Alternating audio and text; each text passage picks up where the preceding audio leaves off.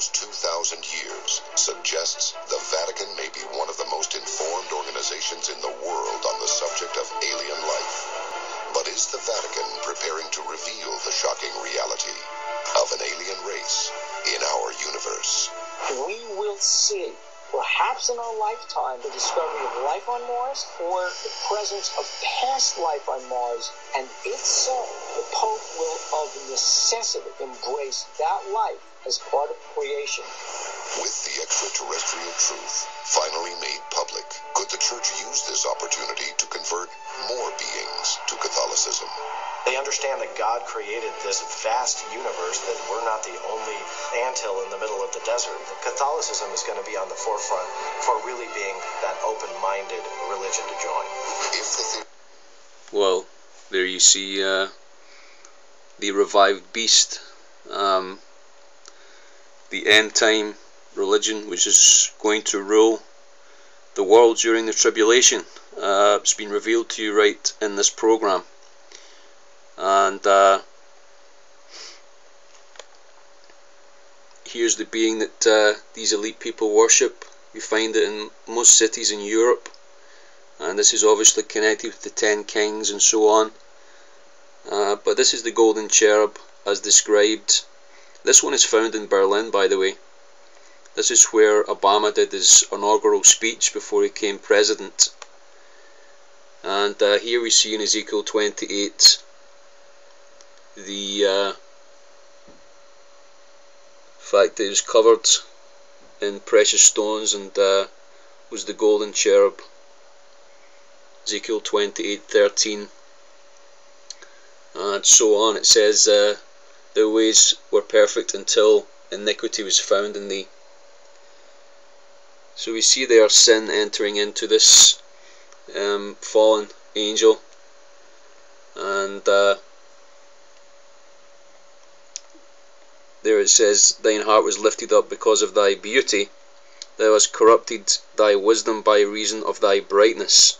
So it's trying to exalt itself, in other words, not, not exalt his creator, the Lord Jesus Christ, anymore. And uh, this has been perverted, of course, in Catholic Mass. Mass means death, and it's the continual worship of death, as the Vatican is actually built on a Mass graveyard and even alien skulls as you will see in the link in the toolbar has been found under the Vatican which used to be a sacrificial site for the goddess Janus before it actually became the Roman Catholic Church.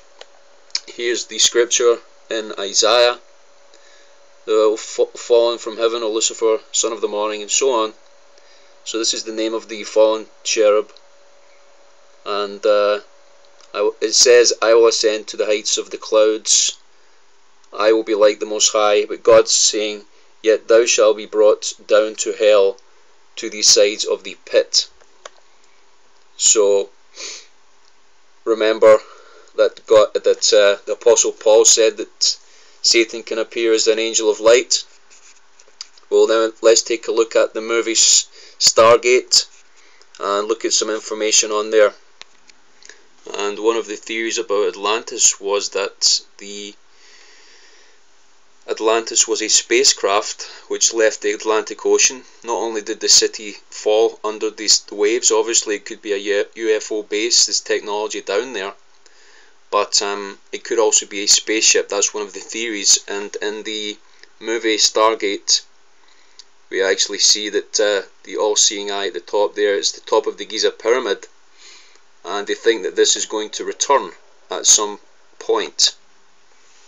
Um, so we see this guy's in a sarcophagus and uh, it was actually used for healing. They have technology and uh, you see his eyes glowing there. Reminds me of um, well, was trying to become the one true God. You see, it says this in the book of Daniel, remember? That he would enter into the Holy of Holies saying that he is God, and uh, basically those that don't worship him will be destroyed. Well, this is obviously this has obviously been tried before the New World Order, so this is the last, the final one that Lucifer, or Satan, is going to be allowed to try again.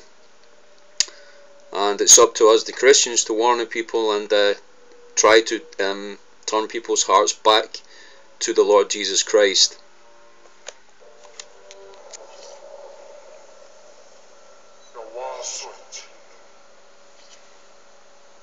Remember that the you can see the gemstones are also used in the technology as mentioned in the book of Ezekiel. Was gemstones mentioned there.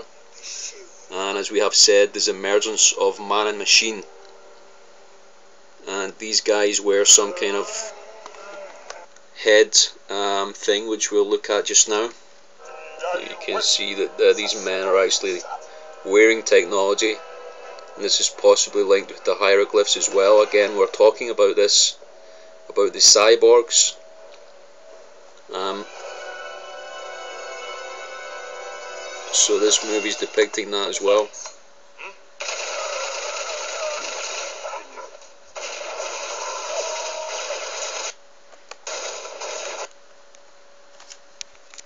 So remember the mark of the beast is in the right hand all the time. And in this movie, this fallen angel or whatever it is has got technology and he puts it on his right hand and he uses it to destroy um, his enemies. So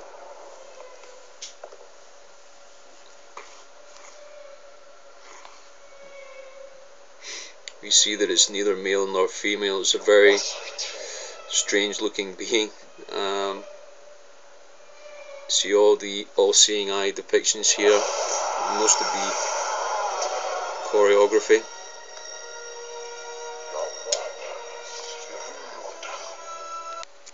Here we see it again uh, basically it's wearing a couple of horns and uh, you see in the hieroglyphs and um, the horn and the basically the circle at the back.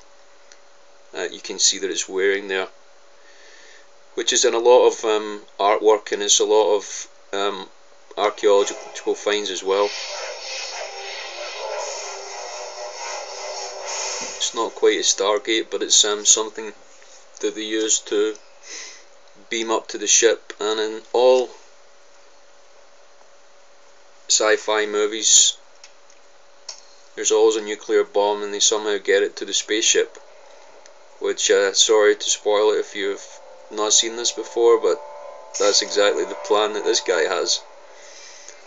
Um, so this being is about to be blasted, literally, back to wherever he came from, whichever dimension. You see again the um,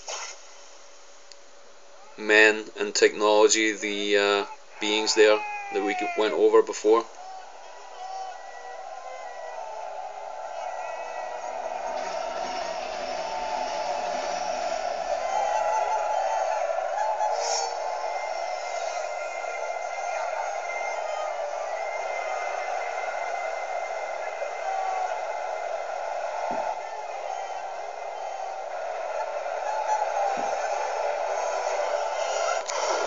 See the actual ship. This is the top of the Giza Pyramid meant to be and it's a spaceship with this fallen angel inside and it blasts off into space and uh, it's about to be blown into space as well. Quanto tempo ainda falta? 45 segundos. Tá partindo. Desligue. Estou tentando. Não consigo desarmar. O quê? Ah,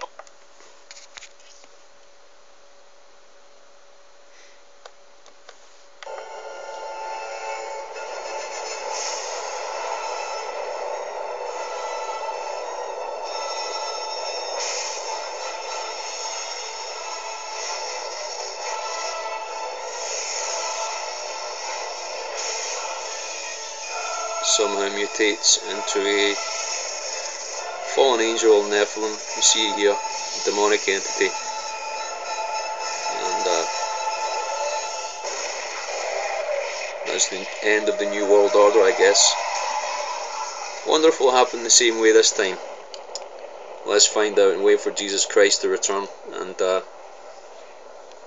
He will be the one that will give us the victory in the final days. The last days, the end of this age. All glory to Yahweh.